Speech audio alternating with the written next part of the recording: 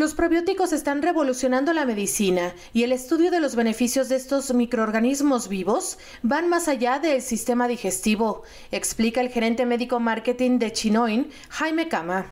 Sí, eh, bueno, los probióticos han ganado un, terreno con el paso del tiempo para distintas enfermedades. Principalmente se, se piensa o los probióticos han sido diseñados para problemas gastrointestinales.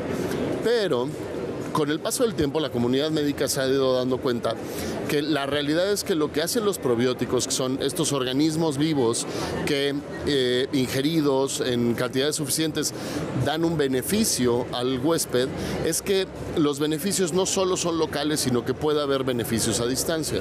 Y la pregunta en los últimos años, la investigación sobre la microbiota en el mundo ha crecido de manera acelerada, reuniendo evidencias de la importancia de estos microorganismos de nuestro cuerpo en el proceso de salud y enfermedad, y se ha demostrado el efecto benéfico de los probióticos en la salud humana. Se estima que nuestro cuerpo alberga al menos a 100 trillones de células microbianas y un cuatrillón de virus. Estos microorganismos vivos colonizan todas las superficies del cuerpo y la mayoría reside en el tracto intestinal, aunque también se encuentran comunidades microbianas en piel, boca, vía respiratoria o sistema genitourinario, entre otros sitios.